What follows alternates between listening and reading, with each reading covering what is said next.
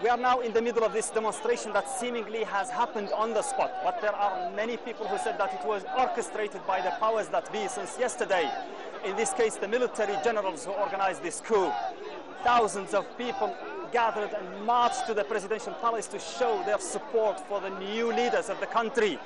But this is not a new scene in this country. Since its independence in 1960, no coup d'etat has ever happened without thousands turning out and showing their support for the new regime. We also know that this rally is organized by several parties that have been behind the pressure on the military to change the regime. But that's not the opinion of some others who have not shown here today and who are organizing another uh, rally to show their disapproval and their discontent with what happened, saying that basically this is a coup against legitimacy and against democracy in the country.